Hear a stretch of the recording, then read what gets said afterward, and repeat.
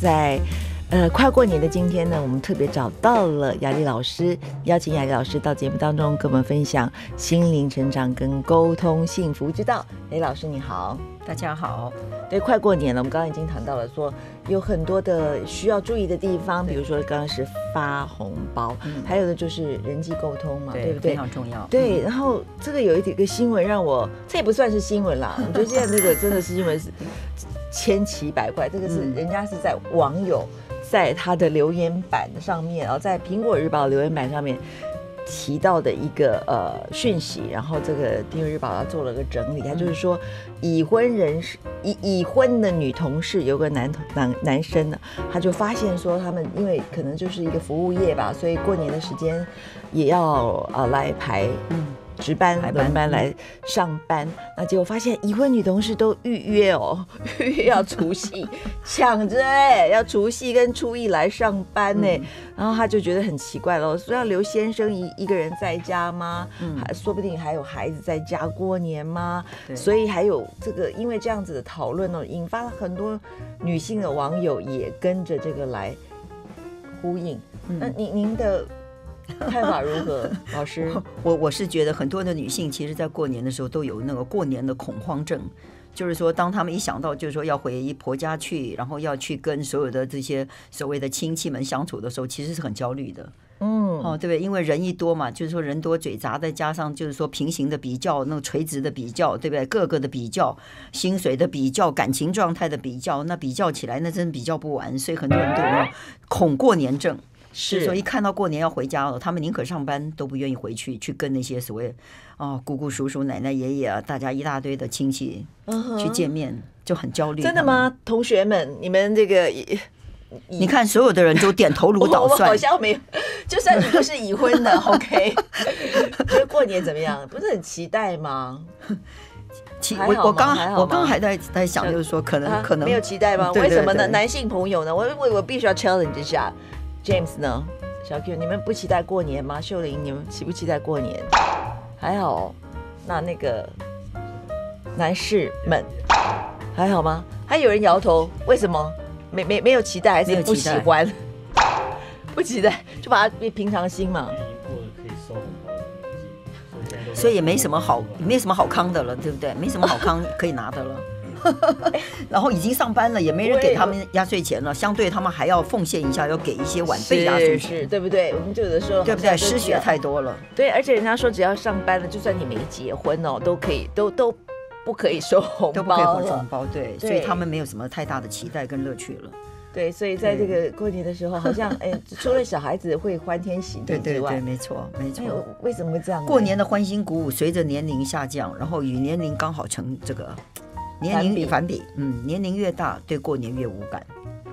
那钱赚的越多的呢，就要给的越多；钱赚的越少的呢，他就也许还有点期待别人给他一点，但是可能已经赚钱了吧，别人也不会给他了。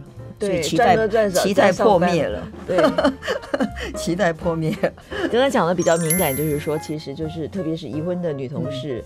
已婚的女性朋友了，不是女同事，已婚女性朋友，特别是在过年的时间，都要就是这个张罗大伙儿，哎，吃的、喝的、用的、玩的，然后都是，然后特别是小孩就来一阵风，然后回家就是很累了，还要再张罗所有的事了。然后主要是回到婆婆家的话，你看，如果你是长媳。对不对？或者是你是你是什么样子的那个？反正就是说年长的，你就得要负责跟婆婆一起去，或者甚至帮婆婆处理所有全家人的张罗全家人的，或者长媳，对不对？长媳就很辛苦啊，对不对？一定要嘛，你要替大家去打理所有的一切。是是是，但我也觉得也蛮蛮呃开心，就是说可以真的，我是一个就是比较好客的人。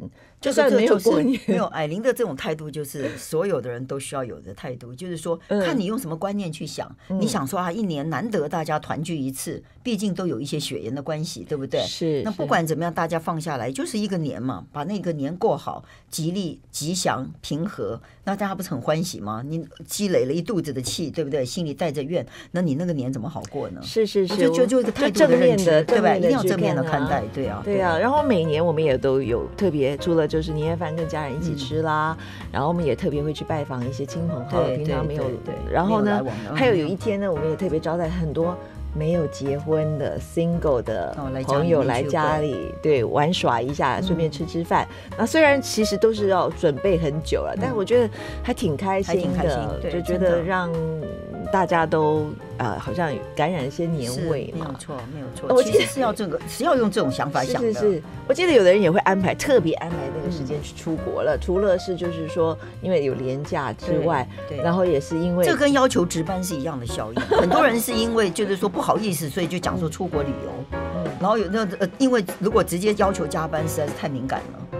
这在亲族之间，我看很难被宽恕，所以我觉得很多人就说我旅游，对不对？那然后就反正全家带走了。没有有的时候不是要求啊，就是刚好排到你啊。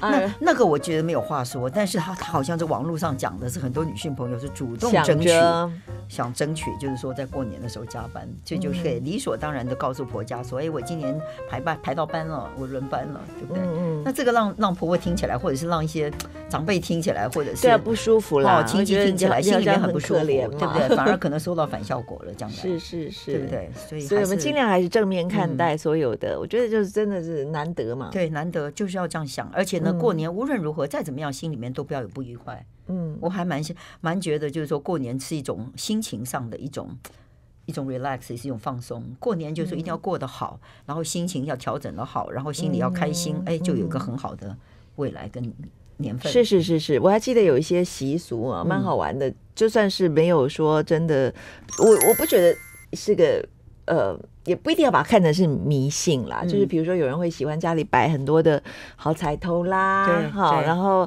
我们就把一些橘子喊，人家都会有的时候会特别买一些橘子来摆啊，就放在客厅里也好啊，或者放在玄关里头，餐厅桌上摆一个，还没有吃不用放冰箱里啊，还有苹果啦，就用那些很漂亮的水果，还有香气嘛，然后来放在一起。那我还记得说有人就是喜欢放炮竹，现在就是不不能都会对地区就不太嗯鼓励放炮竹，但是我觉得可以就是呃有一个呃怎么讲，整体的一个氛围吧哈，就是用很贴贴多春联啦。哦对，然后我还说那个有人说那个橘子啊，我记得橘子皮，就是说你你在跨年那段时间，就是嗯。炮竹以前说炮竹响的时候，就是呃十二点十一点多开始哦，嗯。到这个就是一定要守夜嘛，然后你就可以顺便剥一颗橘子，然后在这个橘子把橘子皮就沿着你的家这样撒一遍，从里到外撒一遍，就是橘子大吉大利，然后橘子到了，吉利到了，嗯就这样子，然后播，我觉得蛮好玩的，就把它当成一个游戏哦，跟这个这这是我第一次听到，就是真的吗啊，我第一次听到哦，那今年我要照着做一下。对啊，对啊，反正不花钱嘛，只是而且而且很有趣的，对，然后吉利吉利金吉，对了，对嗯这个有取那个谐音的那个啊，对，然后那个绿色枣子也是那种人家说是周啊，那个周啊喜下面什么意思？但我记得人家就说周啊也是都是我们过年的时候会一定要吃的水水果嗯然后这个水果其实也是呃又好吃又好看，可以摆设。没错没错，总之呢，就是说我一再的想说，这其实是我们老传统了吗？是不是？我觉得我我 太传统？我看这些年轻人都无所谓。对他们可能我我也我好像也没有那个橘橘子这个我也是第一次听到，嗯我还不晓得就是说那个，但是就是说讨一些好彩头，我觉得心情开心就很好嘛，嗯，对不对？不管你放什么，你就说你家里面觉得说过个年有个氛围，好放一些花。